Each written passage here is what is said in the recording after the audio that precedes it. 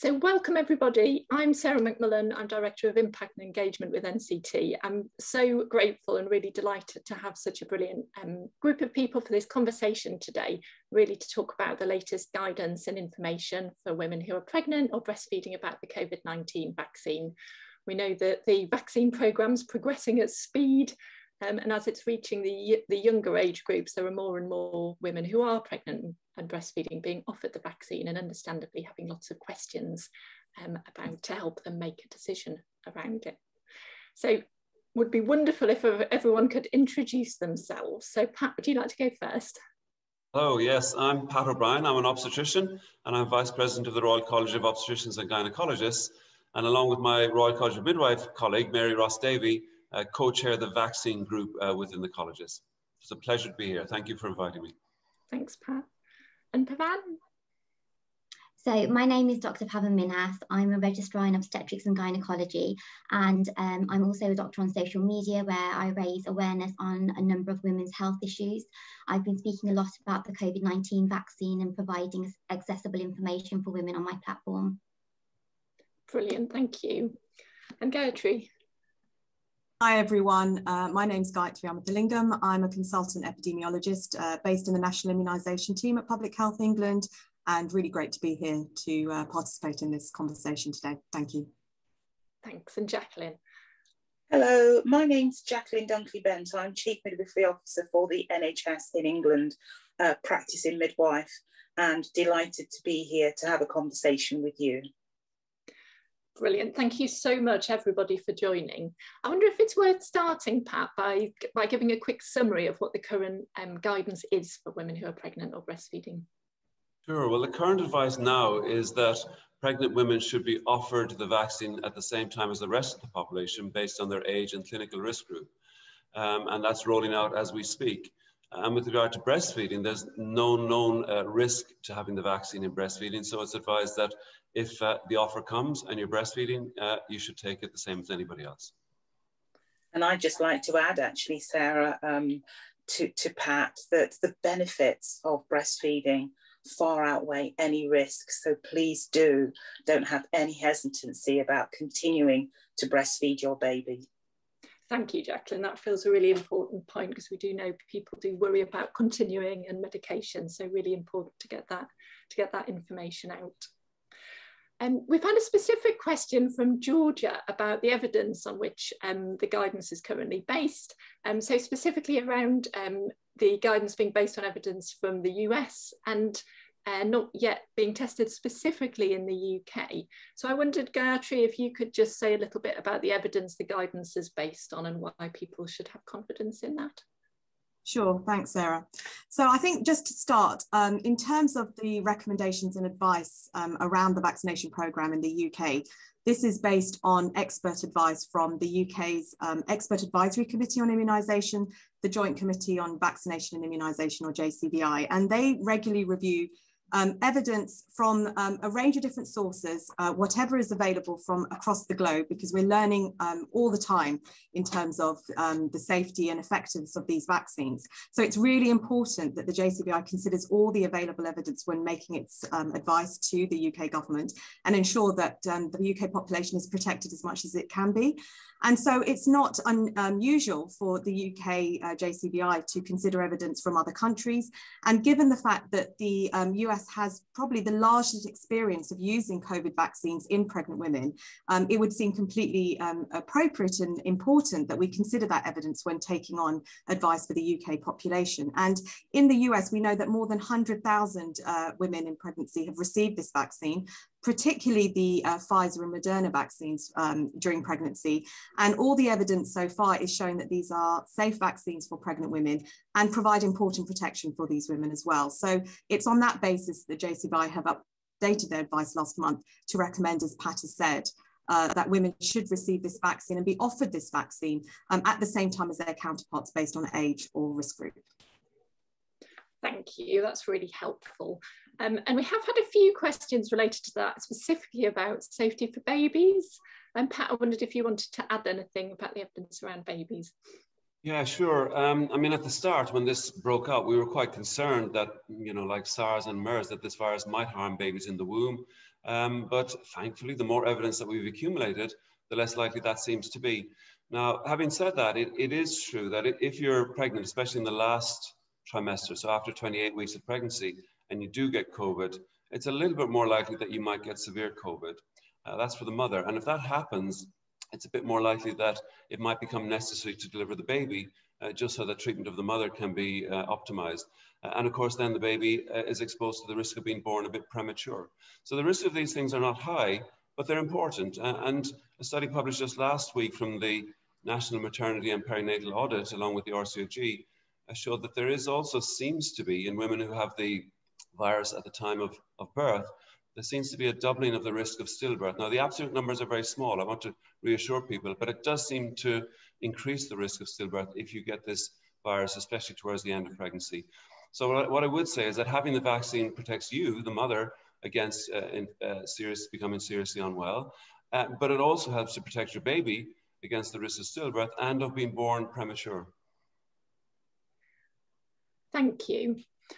And Jacqueline, a question for you. We've had um, a mum called Amy get in touch who's 22 weeks pregnant, and she had the AstraZeneca um, vaccine earlier this year, actually before the guidance changed, and um, before she found out she was pregnant. And at the time, she was advised not to go and have the second vaccine.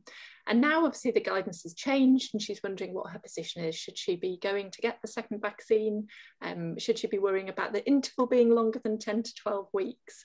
Um, and um, what's being advised about switching type of vaccine uh, between that first and second dose as well?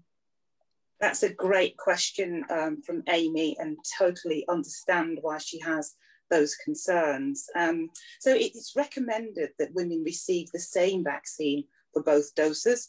And as you've clearly, Amy, already received the first dose of the AstraZeneca vaccine, um, if you didn't experience any serious side effects, then you should continue to receive a second dose. You've no need to start all over again if there's been a longer interval than you would have liked uh, in between taking the vaccine. Uh, please do continue to speak to your midwife, to your GP, or your maternity team, and they will encourage you to take the second dose. Thank you. And would anyone on the panel like to add any other any other information around that? I know there's been some questions we've heard and we've heard through social media around the interval, but particularly whether to avoid the first trimester or how close into the third trimester is advised. So I wonder if someone would like to speak to that point. Well, can I pick that up? Yeah, I mean, based on the, the data from the States, which is considerable now, as Gayatri was just saying, that um, there's no evidence that having the vaccine, even in the first trimester, is harmful for the baby. And there isn't any theoretical way in which it could be harmful either. Now, having said that, you know, we acknowledge that many women feel, you know, the first 12 weeks are a time where the baby is a bit more vulnerable to insults, whether that's infection or drugs or things like that. Uh, so some women might want to wait until after 12 weeks, but there's no evidence to suggest that that's necessary. But certainly if people feel more comfortable doing that, then that's fair enough. Mm. And Pavan, I wondered if you wanted to add anything at that stage about the questions that you've been hearing through your social media platforms you mentioned earlier, and um, any general messages or information for women who may still be feeling a bit uh, confused or concerned around any of the information. Yeah, so I think it's understandable that women are feeling slightly confused and apprehensive about having the vaccine. We understand that the guidance over time has evolved and changed as we have collated more evidence to guide us. Um, but I think the point that I'd really like to highlight, and, and I also highlight on my social media platform, is that it's really important to have an open discussion with your healthcare professional so that a risk assessment can take place as to what's best in your circumstances and for you to essentially make a really informed decision because what's right for one individual will be very different to what's right for another. It will depend on a number of factors. For example, what you do for work, whether you're in a high risk of exposure environment, whether you have any underlying health conditions. And I think that there, there should be no judgment in these conversations. And I think that every question is a valid question to ask. And again, it's an informed decision that you have to make yourself. um, based on what's right for you. And there should be no pressure, but we're just here to advise you and to give that evidence base so that you can make your decision. And um, the only other thing that I would say is that it's really important to use reputable um, resources for educating yourself on what's best for you. So the, the, resources that I always recommend to people are the RCOG. They have a Q&A section on their website which offers really fantastic advice. It's really clear and really, you know, easy to access. Public Health England also have information on their website as well. So I would start from that point, um, and also discuss with your GP, midwife, or obstetrician so that you can make your right decision. That's fabulous. Thank you so much. Such a helpful uh, message for everyone to hear. Sarah, if I could just um, add something, if that's okay, just in terms of the intervals, because I know Amy was asking specifically mm-hmm. about concerns around mm -hmm. that. I think we're now seeing growing evidence um, emerging. I think it's something that we would anticipate, knowing how vaccines work, that actually um, leaving a longer interval provides um, actually better protection in terms of antibody responses. So I don't think Amy needs to be concerned if her interval between her first and second doses has lengthened beyond sort of the, the recommended schedule. I think she just still needs to um, go ahead and um, discuss, as, as, um, as Jacqueline's already said, about the um, options for her, but that shouldn't um, preclude her or concern her that she's not going to get the optimal protection from that second dose. And the reason for completing the schedule is actually providing that longer term protection. We know you get very good protection from that first dose of vaccine, but to provide additional protection and longer term protection, it's really important women come forward for their second dose as well. Thank you. Fantastic, thank you. So before we finish, I would like to invite you all to share any final messages or information, anything you think we might have missed today, but any key messages you'd, you'd like to share with women who are listening. Jacqueline, would you like to go first?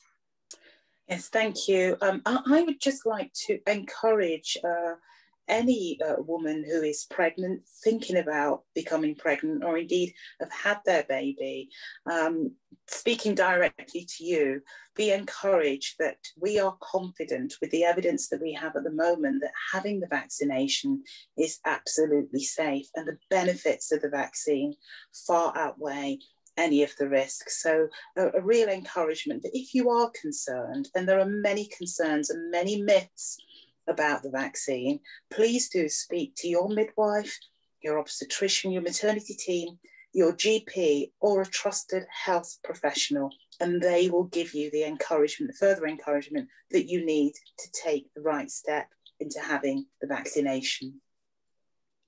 Thank you so much. Pat, is there anything you'd like to add? Yes, thank you. I, a lot of women say I'm, I'm a bit concerned about having the vaccine because it might harm my baby.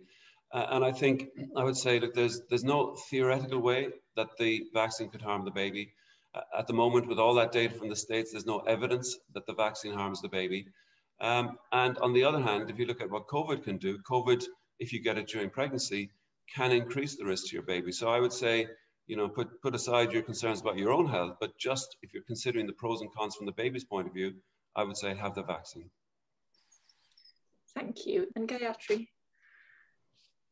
Yeah, I mean, I think I would um, only just sort of concur with what's already been said and just to remind women that really these vaccines are highly effective. We know that they've actually saved thousands of lives. Um, the latest evidence is showing that um, more than 13,000 lives have been prevented or saved from these vaccines in older um, age groups in this population. Lots of um, people are being prevented from going into hospital. So we know that this um, is are highly effective vaccines.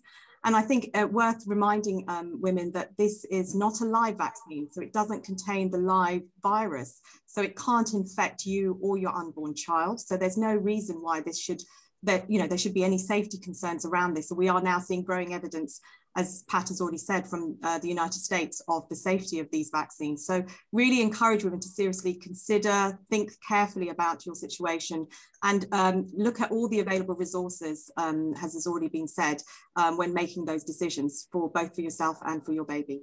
Thank you. Thank you. And Pavan? I think I would just agree with the rest of the panel. I think they've beautifully summarised the key points and the key messages.